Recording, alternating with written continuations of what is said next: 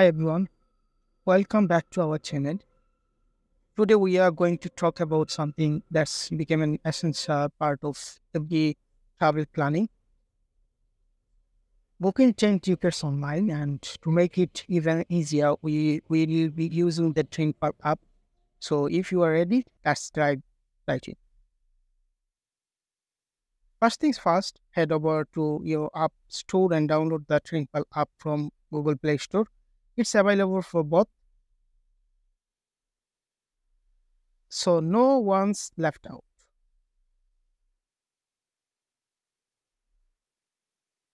Once you've got the app installed, go ahead and open it up.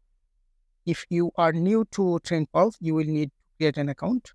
But if you are already a member, just log in with your credentials. Now let's get to fun part, finding your train tickets supply enter your departure and arrival cities along with your travel dates and hit search. You will be presented with a list of available trains for your chosen route. Take your time to compare prices, departure times, and train types of find the best option for you. Once you have find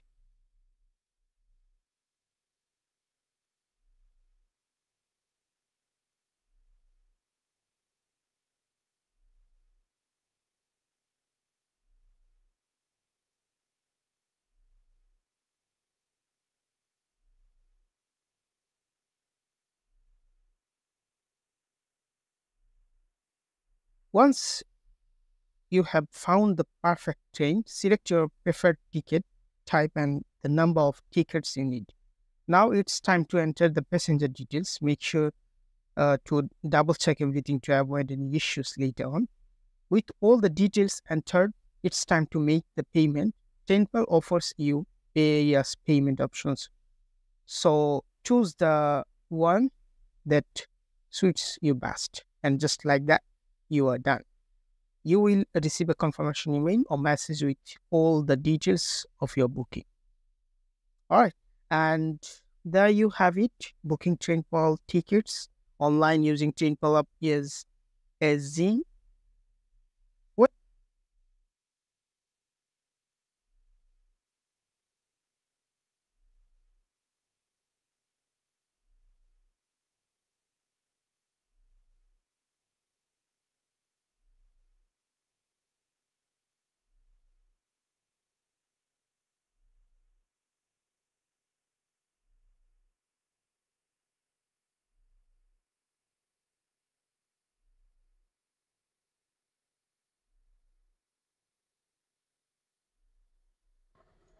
stage yeah and then to passing car and not Victoria. This train has eight coaches. Generational platforms passengers fall.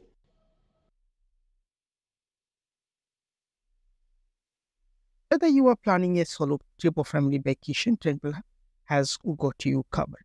Thanks for watching. Happy travels. Until then, safe travel. See you next video.